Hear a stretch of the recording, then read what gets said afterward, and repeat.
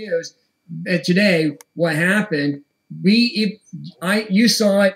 I posted up, and they put they took our links down, and they're trying to block this broadcast from from happening too as well today. That's exactly what's happening, Brenna.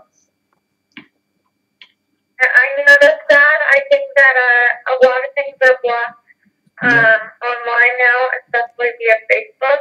Mm-hmm. I I've had some of my own stuff taken down. Yeah, I saw that. Um, pardon? I saw that. Go ahead.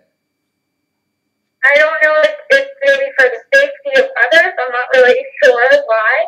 Um, but I feel like if if we have uh, the right to, you know, speak freely in this country, then that should be through social media outlets as well. Well, guess what? Today, um, believe it or not, we're going to have Nikki Haley later this week on our network. You got the governor from from from South Carolina, and she has had 400 death threats on Twitter, 300 of them on Facebook, and the and, security on Facebook has done anything at all whatsoever. But yet they're blocking you. They're blocking news links like you and I have out there, trying to help people out, encourage people, let people know uh, what's what the issues are happening and what you're doing too as well. Because you're an actor, you're letting people know about your what your role you're doing and your business too as well. And they're taking that down. Why are they blocking that? But you're not.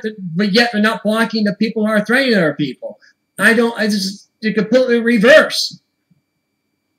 I don't get it. Um, I don't think anyone really does.